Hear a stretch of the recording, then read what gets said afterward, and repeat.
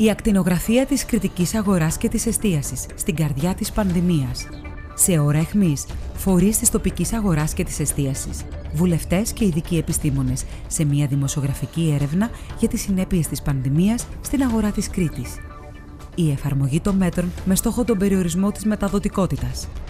Απευθείας συνδέσεις με τις πόλεις της Κρήτης μεταφέρουμε τον παλμό της τοπικής οικονομίας μέσα από τη δύναμη των αριθμών ποιες είναι οι αντοχές της αγοράς και της εστίασης και ποιες οι εκτιμήσεις των ειδικών για την καθημερινότητα στη χώρα.